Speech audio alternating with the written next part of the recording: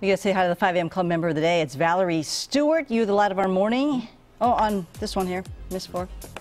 You're the light of our morning and our 5 a.m. Club member of the day. And you know, Valerie gets up early every day to do her home workout. She points out she has one thing in common with me.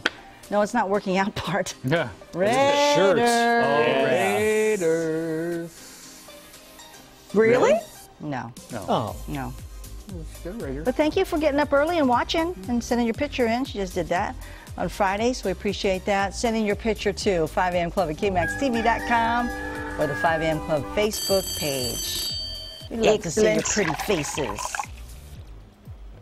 How are we Well, feeling about a- the Raiders, though, with you? Are you still going to be a Raiders fan even though they're in Vegas? Or